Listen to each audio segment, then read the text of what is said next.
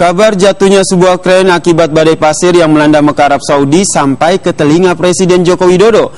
Presiden Joko Widodo tengah berada di Arab Saudi dalam sebuah kunjungan kerja untuk menarik investor Arab ke tanah air. Informasi terkait insiden jatuhnya krain akibat terpaan badai pasir diterima Presiden Joko Widodo tak lama setelah peristiwa itu terjadi.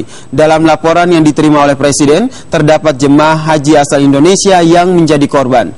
Dalam sebuah konferensi pers yang dilakukan semalam waktu setempat, Presiden telah meminta para petugas haji untuk bertindak cepat.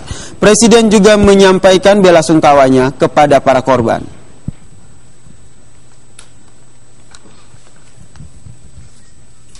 Assalamualaikum warahmatullahi wabarakatuh.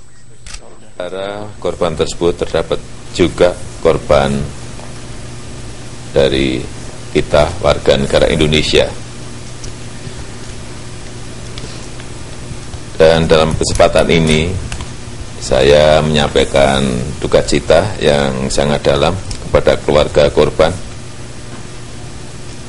termasuk warga kita negara Indonesia Semoga keluarga diberikan kekuatan dan ketabahan dalam menerima musibah ini.